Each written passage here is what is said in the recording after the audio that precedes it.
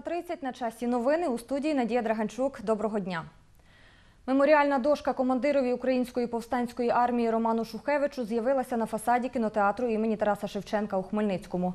Її автором став скульптор Роман Амбул. Це третя дошка, відкриття якої приурочили сторіччю української революції. Дві попередніх відкрили Євгену Коновальцю та Михайлу Грушевському. Що сталося з тілом Шухевича, на тепер достеменно невідомо. Пошуки місця поховання командувача УПА тривають багато років. За однією з версій, його спалене тіло було скинуте в- в річку біля села Гуків Чемеровецького району. Нині там споруджено пам'ятний базальтовий хрест. Роман Шухевич це дійсно той герой, яким ми повинні пишатися.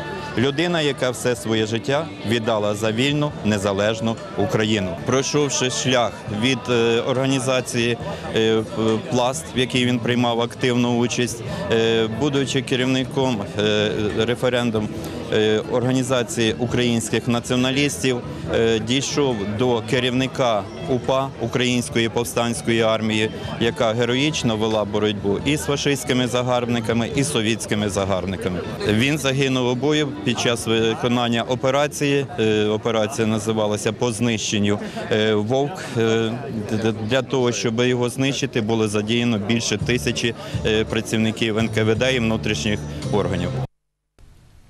104 вступники з Хмельниччини не з'явилися на зовнішнє незалежне оцінювання з математики. Про це повідомила методист Вінницького регіонального центру оцінювання якості освіти Ірина Ковальчук. Нагадаю, вчора, 22 травня, стартувала основна сесія ЗНО з математики. На неї зареєстру- зареєструвалося 3270 вступників. На іспит прийшли 3166. Офіційне оголошення результатів цього тесту відбудеться не пізніше 15 червня. 24 травня в області відбудеться обов'язкове зовнішнє незалежне оцінювання з української мови та літератури. У ньому зареєстровані 11 тисяч 683 учасники. В області діятимуть 43 пункти тестування. Справу трьох чоловіків, яких підозрюють у продажу наркотиків, розглянуть у Хмельницькому міськрайонному суді. Про це повідомила прес-секретар прокурора Хмельницької області Наталія Гончарук. За її словами, організатор групи купував психотропи у Києві, вдома їх розфасовував по дозах. Інші двоє чоловіків шукали наркозалежним, яким збували наркотики. Правоохоронці задокументували шість епізодів діяльності групи, каже Наталія Гончарук. Ті продавали наркотики на 40 тисяч гривень. Один із чоловіків намагався вивезти психотропи в Польщу. Його затримали на митному посту. Трьом особам оголошено про підозру у незаконному виробництві, зберіганні та збуті наркотичних речовин, використанні коштів, отриманих від незаконного обігу та замаху на контрабанду. Учасників групи взяли під варту. Найвища міра покарання за статтями обвинувачення – 12 років позбавлення волі з конфіскацією майна. 15 офіційних місць для купання визначили цьогоріч на Хмельниччині. Про це повідомив начальник прес-служби надзвичайників області Андрій Козак. Сім з них у містах Хмельницькому, Славуті, Полонному, Красилові, Ізяславі, Старокостянтинові та Нетішині. Місця для купань облаштували у таборах та на базах відпочинку Летичівського, Хмельницького, Кам'янець-Подільського та Новоушицького районів. На сьогоднішній день е, Державною службою надзвичайних ситуацій е, перевірено е, і обстежено 8 з цих 15 місць, які ми сказали, е, і паспортизовано 5 е, пляжів, тобто видано офіційні документи на їхню роботу.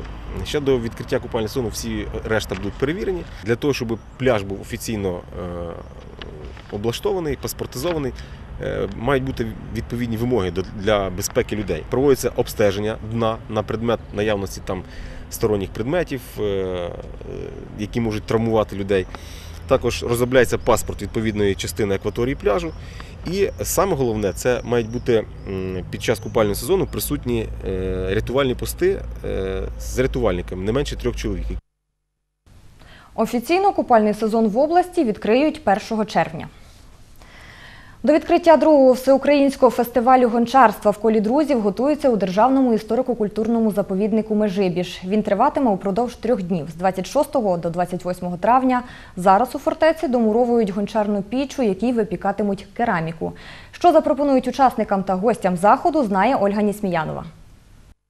У Меджибиському замку мурують гончарну піч. За кілька днів на всеукраїнський фестиваль гончарства сюди з'їдуться гончарі зі всієї країни. Ми будемо проводити майстер-класи. Е, Кожна людина зможе е, посидіти за кругом, зробити якусь річ, е, взяти участь у випалах. Ми будемо цього року випалювати у дровяній печі е, вироби.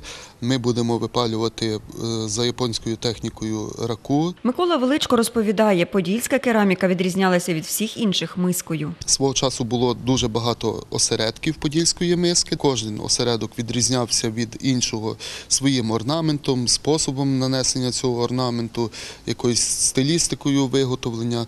Е, І в нас е, на Хмельниччині була смотрська кераміка. А цього року під час розкопок у містечку Меджибіж була знайдена автентична меджибіська миска. Миска була знайдена безпосередньо на місці виробництва, тобто біля горна.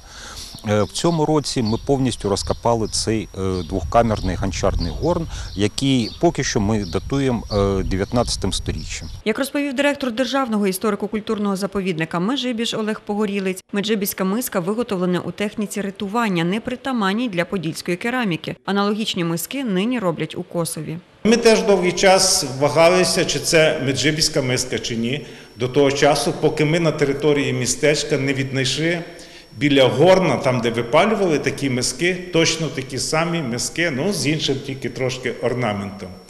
І вони саме головне були не випалені повторно. І це дає нам можливість стверджувати про те, що в Меджибожі на початку 19 століття саме виробляли такі миски.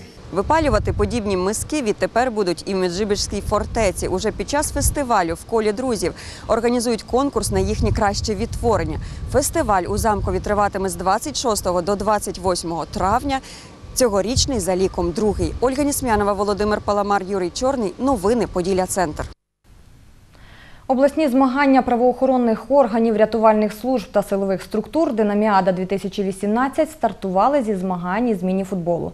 Це перший із 10 видів спорту комплексних змагань, які відбуваються впродовж року. Заявки на змагання з міні-футболу подали 5 команд.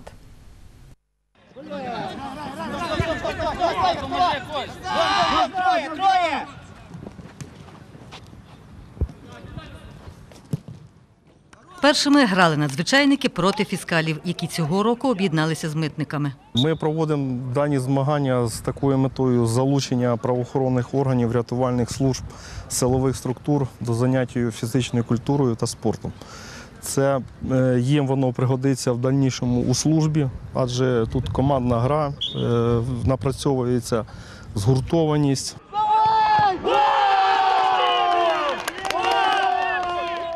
До програми змагань входить 10 видів спорту.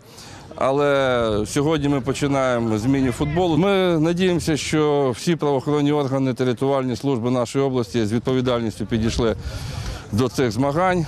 Е, Спортсмени е, з числа особового складу мали можливість підготуватися.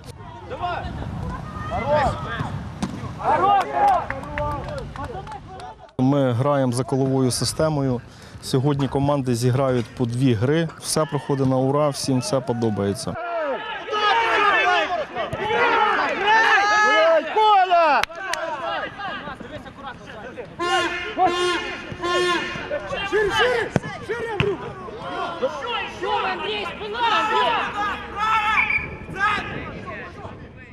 Перший матч поміж командами головного управління Державної фіскальної служби України в області та головного управління Державної служби з надзвичайних ситуацій закінчилася нічиєю 2-2. Я вважаю, нічия була справедлива. Що команда МНС, що команда ДФС у Хмельницькій області, на мою думку, показали гарну гру. Гра була справедлива, чесна, з емоціями, жадобою до перемоги. Ну, на сьогоднішній день нічия, а наступні ігри покажуть. Суперники були рівні, да, десь ми, можливо, трошки не, не так настроїлись, але ну, нічого страшного, ще попереду три гри. Надіюсь, е, буде все добре.